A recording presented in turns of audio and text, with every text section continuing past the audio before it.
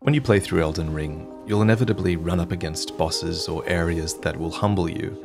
In these moments, it's important to remember that these obstacles are often there by design. They do not block the path, they are the path. Through skill or creativity, or just by coming back later, you can overcome any obstacle in this game, and this video will give you all the tools you need to do so. Before you do anything else, you should try to master the basics of combat. At the core of combat is your stamina bar, this resource is depleted when you perform the actions necessary for fighting, for example, sprinting, dodging, blocking attacks, attacking, all of these things, and more, require stamina. Next, let's talk about the proper flow of combat. While locked on with R3, keep your shield raised with L1. This will prevent damage from any attacks that are too fast for you to react to. As you block them, your stamina bar will be depleted, so make sure to drop your shield in between attacks in order to regain that stamina faster. Now, blocking fast attacks often doesn't deplete too much of your stamina, but blocking slow attacks is often a different story, and a lot of them can easily break your guard, leaving you wide open. Thus, if you think you can anticipate a slow attack or a series of attacks, it's often better to roll through them instead. Rolls have invincibility frames that nullify all damage if you press the roll button around the instant where you would have been hit.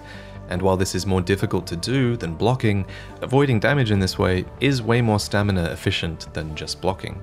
Oh, and make sure that you stay below 70% equipment load as well, so that your rolls stay fast and effective. As you fight an enemy, pay special attention to their animations and try to memorize their moveset. Over time, you will learn the best way to avoid certain attacks and where their openings lie. So learn to fight with a mixture of both blocks and rolls. As a general rule, you should block fast attacks and roll through slow attacks. By fighting efficiently in this way, you'll avoid damage and still have stamina left over to deal damage while the boss or enemy is left open. A new way to deal damage in Elden Ring is with guard counters, which are a core part of Elden Ring's combat and essentially allow you to weaponize your own defense. So, shortly after successfully blocking an attack, you can retaliate by tapping R2 and performing a guard counter attack. These counters are extremely powerful. If you recognize an opportunity to safely perform one, you should they deal great damage, and many lesser enemies will immediately have their super armor broken, opening them up for a critical attack with R1. But what is super armor?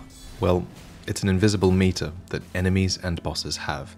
It depletes when they take damage, and when you fully deplete this meter and break their super armor, you can perform a critical attack by tapping R1.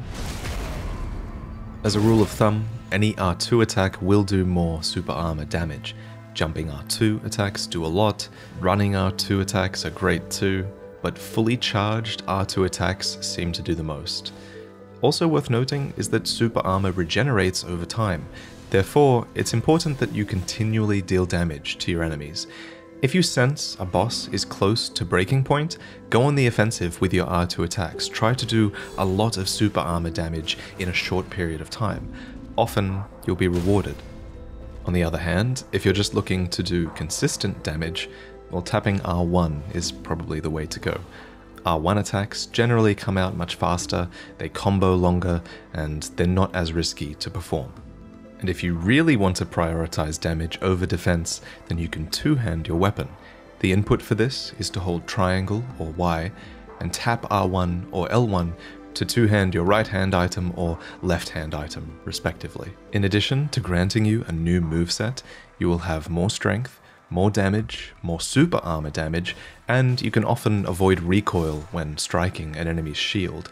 So if your shield just isn't helping much with an encounter, consider two-handing for damage instead. Now while you two-hand, you'll mostly be dodging for defense in this state. That said, it's worth noting that you can still block while two-handing, and while you'll take some chip damage because a weapon isn't as good as a shield is for blocking, it's still a good idea to block in many situations, or at least to keep your guard up, especially if you want to utilize guard counters. Another offensive alternative to two-handing is power stancing, which can be achieved by equipping two weapons of the same class, one in each hand. With this, you'll get access to a special L1 attack that utilizes both weapons, Just like your R1 attacks, your L1 attacks do a combo of strikes and can be utilized in jumping attacks as well. Speaking of jumping attacks, they're incredible gap closers, allowing you to cover distance and queue an attack simultaneously. If an enemy is left open but you're kind of far away, just close the distance with a jumping attack and see how effective they can be. Jumping R1 attacks are generally better for flying or mounted enemies, and jumping R2 attacks are generally better if you want to inflict damage and posture damage upon grounded enemies. Damage can be healed with your Flask of Crimson Tears, which will always replenish when you warp or sit at a Grace checkpoint. Additionally, you can get extra Flask charges by clearing out a group of enemies, or by defeating these small red creatures. At Grace checkpoints, you can upgrade your flask with golden seeds and sacred tears. Golden seeds are found at minor Erd trees and increase the amount of flasks you can carry. Sacred tears are found at churches of Marika and increase the amount healed by your flasks. Furthermore, you can balance the allotment of crimson flasks versus cerulean flasks at a point of grace to better suit your needs. To quickly access your crimson healing flask at any time, Consider making it the first item on your quick select bar. This way, if you hold down on the D-pad, you'll always shortcut to it instantly. At the top of the D-pad, you'll be able to cycle through your current selection of spells. New spells can be memorized at a site of grace. These spells will either be incantations, which must be cast with an equipped seal, or sorceries, which must be cast with an equipped staff. Cycle through your equipped armaments by pressing left or right on the D-pad. If you die, then you'll drop all of your runes at your point of death. If you don't pick them up during your next life, then they'll be gone forever. Make sure to seek them out using your compass whenever you can, or invest them in items or your own character. When you do die, you can choose to resurrect at a site of grace, or sometimes at a stake of Marika. If you see this statue, or this icon, then it's probably an indication that you're in a difficult area or near a boss as a stake of Marika is nearby. Respawning at a stake of Marika will usually make your run back to your runes less severe, so it's often best to choose that option, unless you'd prefer to move on from what killed you. If you're out in the open world, one way to overcome difficulty is by choosing the right scenarios to fight on your mount, Against large or mounted enemies that struggle against hit and run tactics, the mount is definitely the way to go. While mounted, R1 and R2 give you light and heavy attacks on the right side, and L1 and L2 give light and heavy attacks on your left side. If you hold your heavy attack input, then you can charge them up, dealing continuous damage while you charge, which culminates in a strong attack at the end. While mounted, you automatically wield the armament in your right hand. If you would prefer to wield the armament in your left hand, use a two-handing input, so hold triangle or Y and then tap L1 or R1. Your mount can take damage separately from you, but his damage can be healed by your Crimson Flasks, as well as by craftable Rowa Raisins. As you get hit on your mount, you run the risk of losing your own super armor and getting knocked down for an extended period of time, if this happens, you are extremely vulnerable. If you're taking damage, then at a certain point, no matter what you're fighting, it's probably wise to dismount and fight them on foot for a little while. Jumping attacks off your horse are a great way to transition into melee combat. Dismount with L3 and slam them with L1, R1, or R2. The distance you cover with this is absurd, and initiating a fight in this way gives you an immediate advantage. As the fight goes on, consider if mounting up again for a burst of speed would be to your benefit. Against this flying dragon, for example, certain attacks are better off being outpaced on a mount. For a reliable way to mount up quickly, I would recommend binding your Spectral Steed Whistle to your pouch, a secondary D-pad menu that can be edited in the menu screen. You can quickly access all four of these bindings by holding down triangle or Y, then tapping the appropriate D-pad button. This way, you'll have a consistent input for mounting up instead of toggling rapidly through your items looking for your whistle. This same logic applies to any other item you want quick, reliable access to, like weapon buffs or poison cures. In addition to your double jump for extra height, be on the lookout for spirit springs, which take you to incredible heights Conversely, you can safely jump into a Spirit Spring to negate all fall damage. While on your mount, L3 dismounts you, but when on foot, L3 can be used for stealth.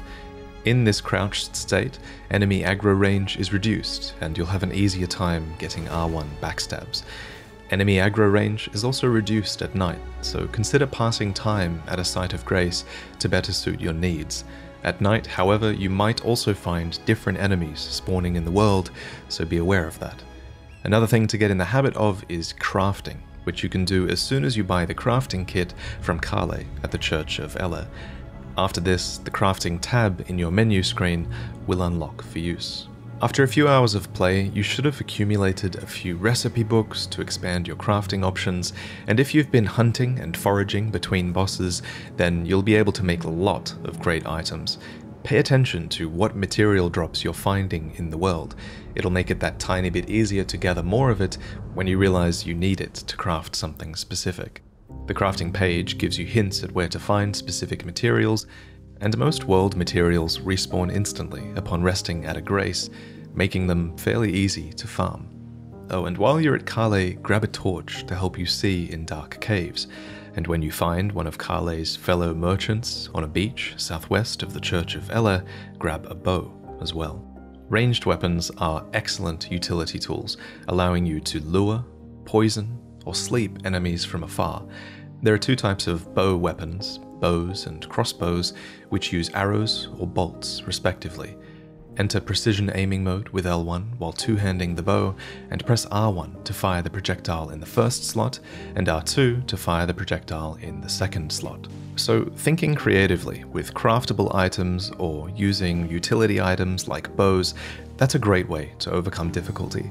But sometimes you might just feel like your damage is too low, and in that situation, you'll have to reinforce your weapon, which can be done at the Church of Elleh at the smithing table.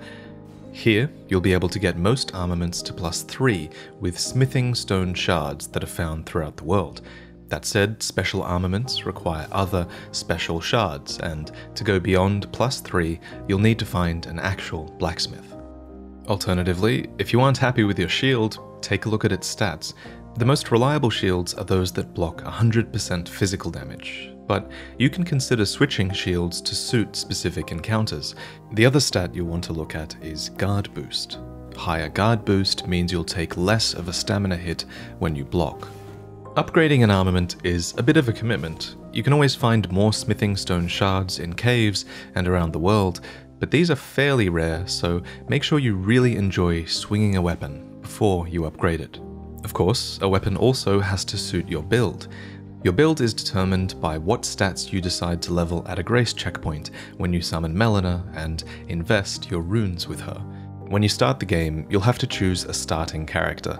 Some use magic, some have ranged weapons, and some excel in melee, but it's important to remember that your starting class does not dictate your build, you do. While each character's starting stats give them different strengths and weaknesses, you are free to build your character in any direction from this point.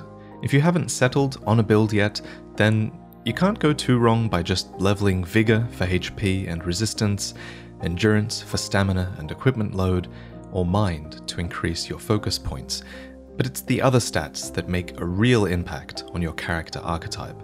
Strength, for example, mostly affects your ability to wield heavy armaments, as well as your defense. Strength weapons are often slow, so being a lot more tanky will come in handy. Another stat to look out for is poise, which will raise as you put on heavier armor, and having high poise will often prevent you getting interrupted mid attack, which is really good for slow weapons. Dexterity is the counterpart to strength, and it raises your ability to wield a lot of lighter armaments, boosting their attack power. It also softens fall damage, makes it harder for you to be knocked off your horse, and reduces the casting time of spells. Spells usually scale in damage with intelligence or faith. Intelligence generally boosts the damage of sorceries, while faith generally boosts the damage and healing of incantations. Arcane is also a new attribute in Elden Ring, and it governs your discovery stat, which increases enemy item drop rates. It's also a stat that increases the damage of certain sorceries and incantations, and can play into the stat scaling of certain weapons as well. Every weapon comes with a default scaling, and your favorite weapon will really influence which build you end up going with. However, one thing you can do is apply an Ash of War to your weapon, which allows you to choose a more beneficial damage type and more beneficial scaling options for that weapon. Beyond their scaling options though, Ashes of War can be used to apply skills to your armaments. Once applied, L2 will unleash their effects, and you can always see which skill you will perform with L2 here. To apply an Ash of War, be sure to pick up the whetstone knife in a cellar at the Gatefront ruins. After this, sit at a grace checkpoint and experiment with your options. Often, these skills will default to your shield's applied Ash of War, unless you two-hand your weapon or use a shield without a special skill. These attacks are very powerful, and even require a small amount of focus points to use. Your FP is represented here in this blue bar. This is a really valuable resource, especially for magic builds which also rely on it to cast spells, that said, all builds can and should find a use for FP, and if you're having trouble in Elden Ring, you should always be thinking of an effective way to make use of this resource. Another powerful way to make use of FP is by summoning spirits. Once you acquire the summoning bell early in the game, you'll be able to equip spirits on your quick select bar and summon them for difficult encounters, as long as you have enough FP, and as long as this rebirth monument symbol marks the encounter as difficult, then your spirits will fight alongside you until death. Some are ranged attackers, some are tanky, and some are a combination of both. Decide what works best for your build and what works best for the encounter as well. Only one type of spirit can be summoned at a time, and spirits cannot be summoned during multiplayer. Speaking of multiplayer, if you're having trouble, be on the lookout for furl calling finger remedies, which you can find throughout the world. Once consumed, these allow you to see other players summon signs and summon help for major encounters. That said, you'll always be able to see NPC summon signs, so feel free to make good use of them. Alternatively, other players' signs can be accessed in summoning pools located at summoning effigies that are placed in key areas. If you want to learn more about engaging in multiplayer, read the items on your multiplayer tab in the menu screen. In general, if there's a tip that you want to read again that popped up, uh, you can find all of those in your inventory menu all the way at the end. Last but not least is your map. Revealing the map for an area will make it way easier to progress through the game. Map fragments can be collected at these glowing guide stels. If you're having trouble finding one in an unfamiliar area, try to stick to the main path, or failing that, try to look for this shape on your undiscovered map. With the map open, you can mark points of interest with markers or beacons that show up in the overworld. You can also fast travel between sites of Lost Grace or get a clearer idea of the direction that the main story requires. Rays of Light will guide you on that path and often lead you towards your next logical checkpoint. Of course, it's up to you if you want to trust the guidance of grace. If you're having trouble with the main path, just go in the opposite direction. Explore, get stronger, learn how to master your build. The guidance of grace can often be spurned to great effect. Thank you for listening. If you'd like to learn more, you can find me on YouTube at youtube.com slash and I wish you all the best in overcoming difficulty in Elden Ring.